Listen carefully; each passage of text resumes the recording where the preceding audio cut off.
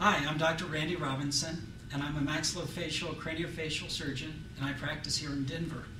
And I'm part of the sleep apnea treatment team here in Denver, and it's a pleasure to talk to you and explain about the maxillomandibular advancement treatment for sleep apnea. Sleep apnea occurs because of blockage in the back of the throat, and typically that's the tongue position as it relates to the soft palate and in many patients, it's because their jaws are too small. But even in some patients, when the jaws have a normal facial relationship, there can still be room to advance the face and open the airway. So, our surgery, the maxillary mandibular advancement for sleep apnea, allows for an increased tongue position. So, it opens the airway during sleep, and many patients are able to come off their CPAP.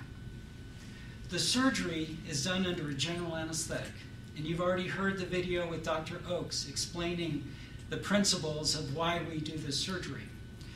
After the anesthetic, the patient typically will stay overnight in an observation unit.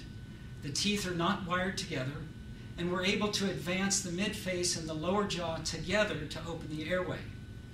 Most patients need approximately two weeks of recovery following the surgery. They're not allowed to chew for approximately six weeks. So most patients lose about 10 to 15 pounds, which some people like anyway.